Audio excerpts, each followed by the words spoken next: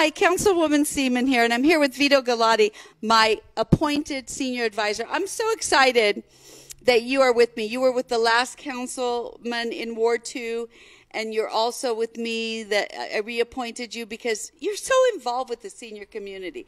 And it's always my pleasure to have people reach out to my office and me to ask me for needs of the community, and you did that. You asked if we could provide masks to Carefree Senior Living Center because you guys needed them, and happy to do so. So, Vito, thank you.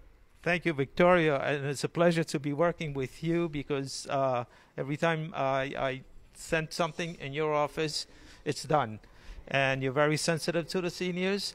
You're concerned, and hopefully we'll continue to do so. And I'll do the best to make sure that I, uh, whatever I find out, the, their needs is uh, sent to your office. So it's my pleasure to give you guys these masks, and please don't hesitate to reach out to my office.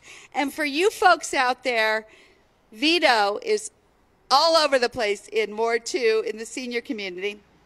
And I am always, my office is always happy to bring whatever needs come come up. So just please feel free to reach out to our office. And thank you guys. And, you know, it's good to come out and meet you. And just know that we're here for you. So thank you, everyone. Thank you, Yvonne. Thank you.